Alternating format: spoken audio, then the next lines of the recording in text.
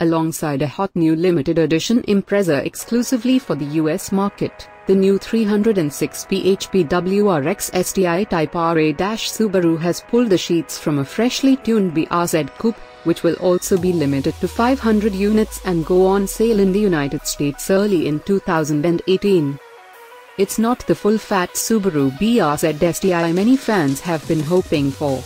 Instead of bringing more power to the mix, the BRZ TS TS standing for tuned by STI- focuses on improving performance through suspension and aerodynamic tweaks.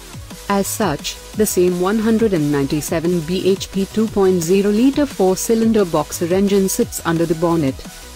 Subaru says that the BRZ-TS delivers a more controlled and stable driving experience thanks to its suspension revisions. At the front and rear, new dampers and coil springs are introduced, while new flexible V-struts are found in the engine compartment in a bid to introduce more balance. The chassis has been tweaked too with new draw stiffeners, in a bid to improve steering response.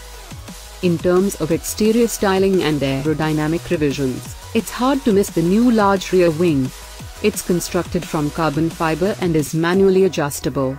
New aerodynamic appendages appear at the front and sides of the car too. New STI branded fog lights appear, alongside BRZ-TS badging and a slightly different rear bumper.